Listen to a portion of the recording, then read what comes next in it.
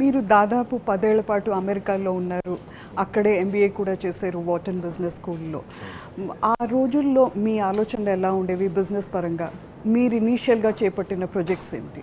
అయితే యాక్చువల్లీ నేను ఉన్నది సెవెన్ ఇయర్స్ అండి. Nineteen ninety eight to thousand five actually yeah much less than ten and నేను ఉన్నన్ని రోజులు కూడా I wanted come back you know that was a time when India was really booming as and that was also a time when I was also seeing a lot of opportunity in India what has available in US అంటే యూఎస్లో ఆ రోజు ఉన్నటువంటి చాలా మటుకు బిజినెస్లు చాలా మటుకు యూనో ఆర్గనైజేషన్స్ అండ్ ప్రాసెసెస్ అవన్నీ ఇండియాలో అప్పుడు లేవు. నాకు అనిపించేది ఏంటంటే అరే ఇది కూడా చేయొచ్చు ఇండియాలో ఇది కూడా చేయొచ్చు చేస్తే ఇంకా చాలా you know whatever you're doing we would actually do it much more efficiently అని అనిపించేది.